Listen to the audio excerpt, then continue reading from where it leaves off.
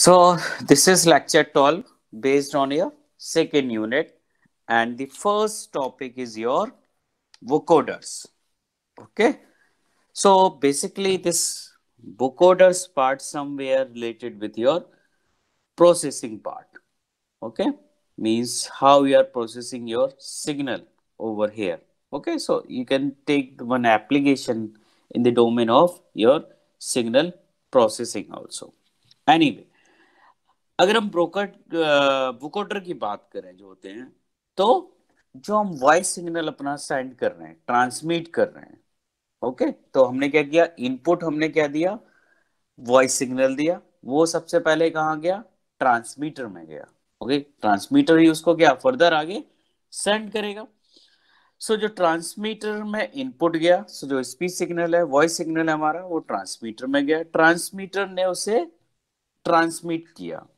Okay? So transmitter का क्या करता है? जो सिग्नल है उसके एनालिसिस करता है ठीक है? उसको सिंथेसाइज करता है। अब ये जो काम होता है एनालाइज करना और सिंथेसाइज करना सो so, ये इंपॉर्टेंट रोल प्ले करता है फॉर वोकोडर के लिए। ओके? सो ट्रांसमीटर पैरामीटर्स को ड्राइव करता है, वो कोडर क्या करता है? जो ट्रांसमीटर हम है हमारा उसके जो ट्रांसमीटर पैरामीटर्स है, उनको ड्राइव करता है, उनको अच्छे से एनालाइज करता है। एंड जब हमारा जो सिग्नल है रिसीवर पे पहुँच जाता है तो एट द रिसीवर एंड वो क्या करता है? जो सिग्नल को उसने पैरामीटर को ड्राइव किया था, और एनालिसिस किया था, उन्हीं को रिसीवर एंड पे वो क्या करता है? सिंथेसाइज करता है। ओके सो मेन जो रोल होता है, इसका क्या होता है? जो पैरामीटर्स हैं, उनको ड्राइव करना, उनको कैलकुलेट करना, फिर उसके एनालिसिस करना जो सिग्नल आ रहा और रिसीवर एंड पे जो आपका सिग्नल है, उसको सिंथेसाइज करना। So in simple language you can say vocoders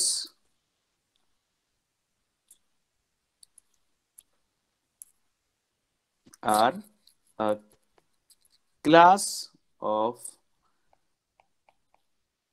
speech coding system.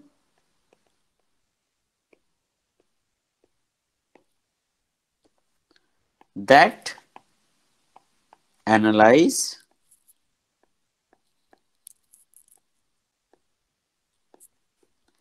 analyze the voice signal at the transmitter.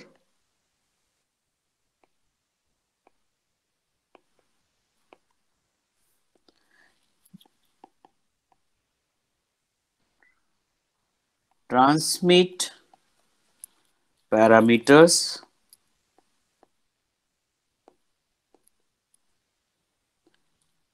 Derived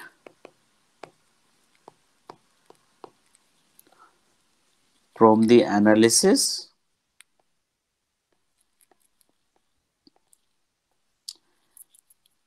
And the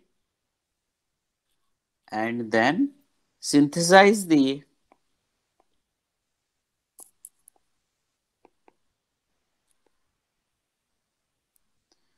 voice at the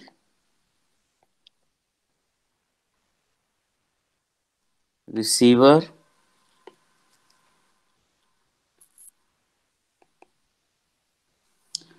using those parameter.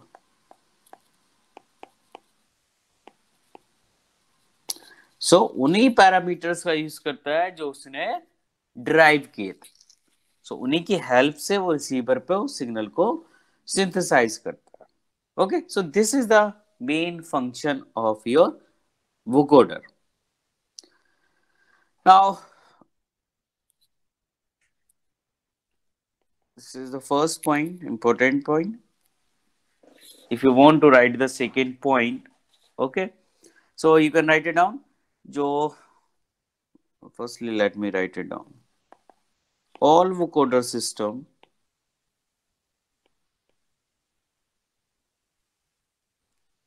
attempt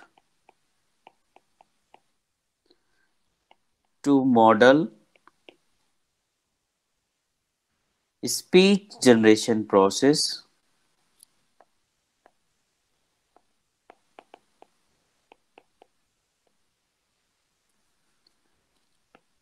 as a system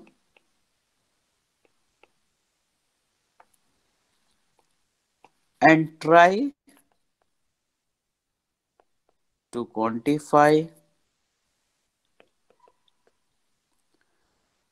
certain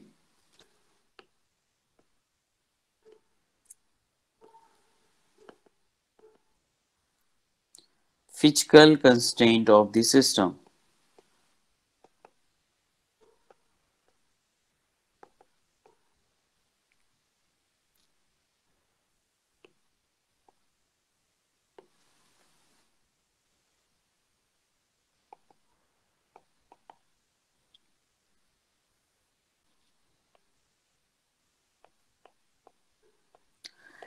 So so, अगर हम first point देखें सो first point को देख के हमें क्या लग रहा है कि ऑब्वियसली काम क्या हो रहा है बुकोडर का? कि जो सिग्नल ट्रांसमिट हो रहा है और रिसीवर पे हम रिसीव कर रहे हैं। सो so, हमारी कोशिश अगर हम देखें कि जो हमारा अगर पूरा सिस्टम है ट्रांसमीटर एक रिसीवर को मिला के एक सिस्टम है तो हमारी कोशिश क्या होती है कि जो हम ट्रांसमिट कर रहे हैं वो रिसीवर पे हमें सक्सेसफुली रिसीव भी हो जाए। और करेक्ट वन सो वोकोडर के बेसिकली क्या करता है? वही काम करता है कि जो स्पीच सिग्नल हमने जनरेट किया था ओके okay? मींस जो हमने ट्रांसमिट किया था okay basically we are talking about the wireless and mobile communication so, most of the time, we are talking about the voice data, okay? You can add the, your, obviously, data also, information, ठीक है? But most of the time we are talking about the voice signal so हमारा जो main purpose है कि जो हम signal input में जा ट्रांसमीटर में जा रहा है और उसको हम ट्रांसमिट कर रहे हैं और वो दूसरे एंड पे रिसीवर पे रिसीव हो रहा है वो प्रॉपर रिसीव हो जाए। सो so, वोकोडर वही कोशिश करता है कि जो स्पीच जनरेशन मतलब जो स्पीच ट्रांसफ़र हुई थी जो डेटा हमारा वॉइस सिग्नल ट्रांसमिट हुआ था वही रिसीवर पे जनरेट करना मतलब वो एक्यूरेटली उसको रिसीव करने में हेल्प आउट करना। Okay so this is the main motive of this और objective of this vocoder anyway बहुत सारे वोकोडर्स हैं जो हम यूज़ करते हैं।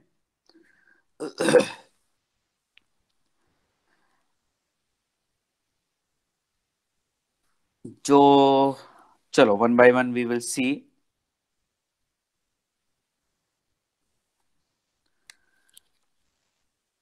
you can write it down. Types of vocoders.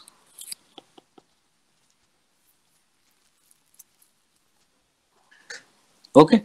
So if i talk about the types of vocoder first one is your channel vocoder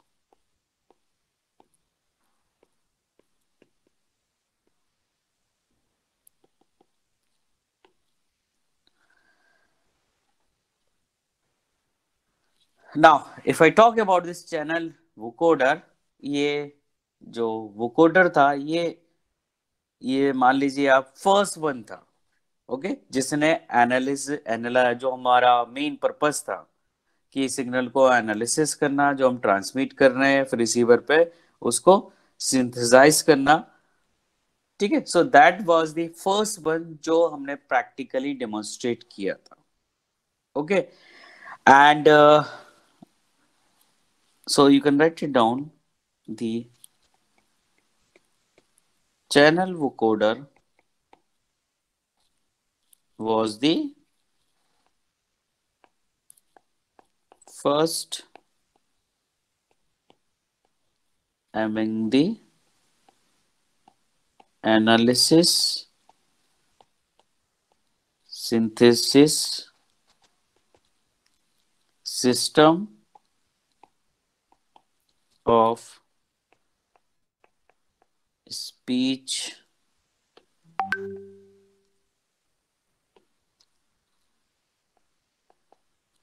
speech demonstrated practically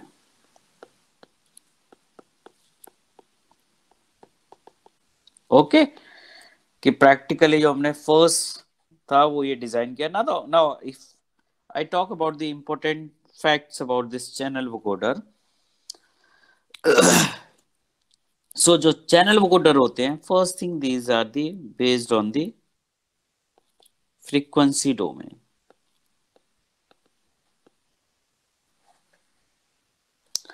okay and frequency domain होते क्या करते हैं channel vocoder determine the envelope of speech signal okay for a number of frequency band and then sample encode and multiplex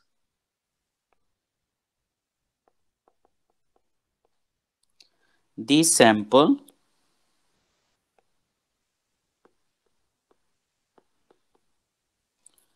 with the encoded output of the filters.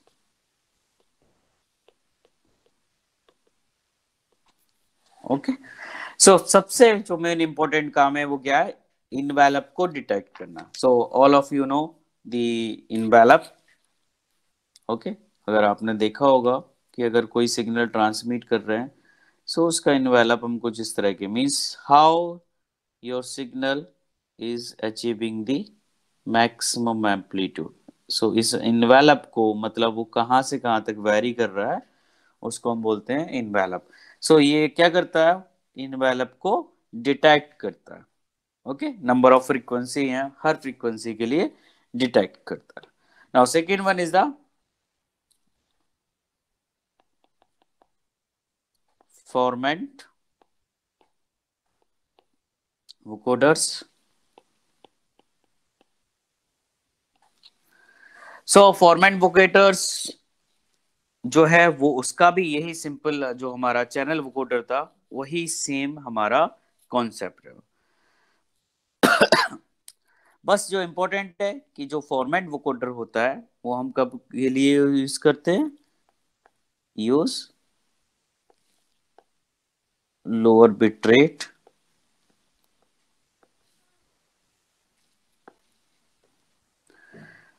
okay now इसमें क्या करते हैं कि हम हम अभी क्या कर रहे थे? Power spectrum envelope means envelope को डिटेक्ट कर रहे थे। So rather than detecting the envelope और और के और sending the whole data the format vocoder attempts to transmit the position of the peaks of the spectral means अगर हम बात करें तो इनको हम डिटेक्ट करने की कोशिश करते हैं। Rather than detecting the overall signal हम क्या करते हैं? जो पीक से आ रही हैं फॉर्मेंट इन्हें हम क्या बोलते हैं? फॉर्मेंट इनको डिटेक्ट करने की कोशिश करते हैं। ओके सो इसमें form you can use the अगर ये बिट रेट की हम बात करें तो it can can bitrate lower than 1200 bit per second okay so जो फॉर्मेट है, उसका जो कॉन्सेप्ट है, वो सेम हमारा गया चैनल की तरह चैनल वोटर की तरह है बट रादर देन इसमें क्या होता था? रादर देन सेंडिंग और detecting the overall इमेंट envelope we try to detect only the peaks formant of the envelope. This is the only change. Now, third one is the sapstrom.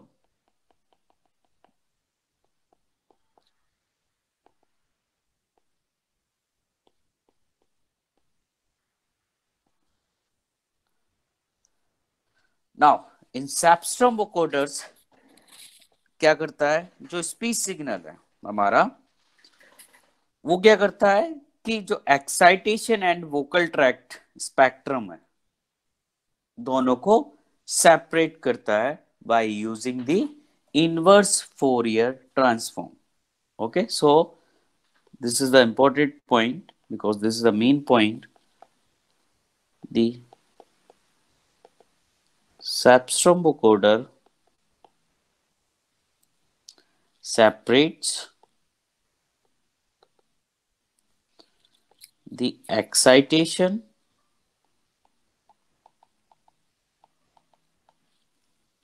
and vocal tract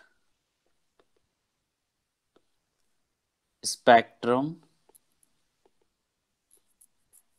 spectrum by inverse Fourier transforming I'm just writing the IFT of the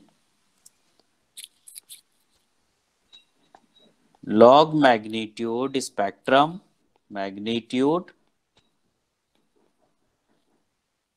spectrum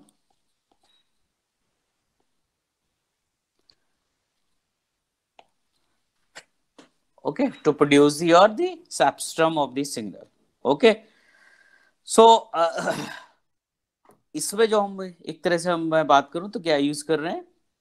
transmitter side पे हम use कर रहे हैं I F T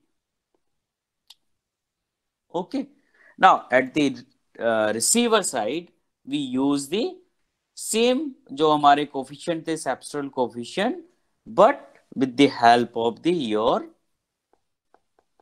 Fourier transform. Okay, for getting the impulse response of your signal. Okay, so obviously all of you know एक तरफ हम coding करते हैं तो दूसरी तरफ डिकोडिंग करते हैं so at the transmitter side uh, side we use the IFT and at the receiver side we use this Fourier transform okay uh, to produce the your vocal tract impulse response. So this is the your and the last one is the voice excited excited vocoder.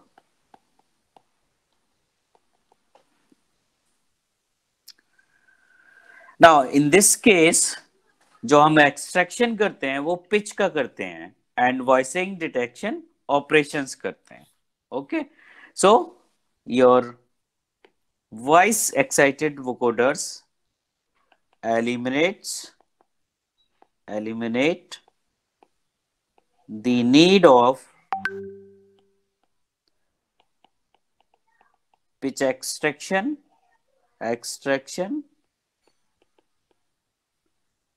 And voicing detection operation. So, pitch, extraction, and voice का जो detection था, वो required नहीं होता in this case of voice excess vocoder. And this is the combination of means जो voice excited है vocoder है, ये आपका क्या है? हाइब्रिड कॉम्बिनेशन है। ओके किस किस का? यो पूरा लिख देता हूँ मैं। That is hybrid combination of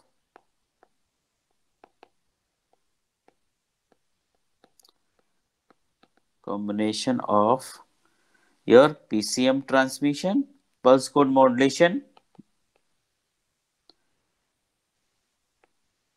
transmission for the low frequency band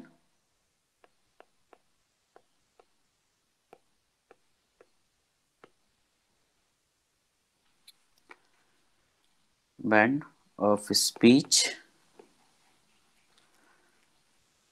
And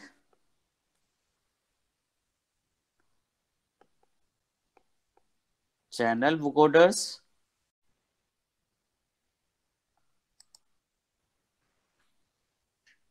Okay, so in voice excited vocoders, we do not require this pitch extraction and voice direction. We use the hybrid combination of your PCM transmission for low frequency band and channel coding for high frequency band.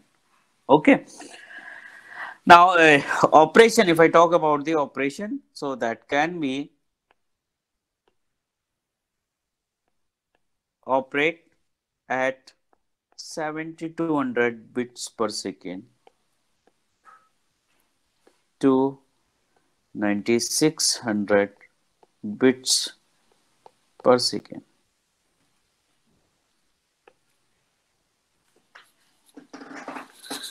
Okay, so these are the four vocoders. Okay, types of vocoders. Now, if I talk about the, there is one another category then जो हम क्या करते हैं most of the time हम use करते हैं that is the LPC vocoders linear predictive vocoders. Okay, so we will discuss this thing later. That is your linear predictive coders. So most of the time in your exam, they ask about the types of vocoders or in 10 marks, they ask about this. What is linear predictive coders? Draw the block diagram of your LPC system. Okay. And uh, for the exam point of view it is important and uh, फिर कुछ LPC के आपके types भी होते हैं we will discuss these points later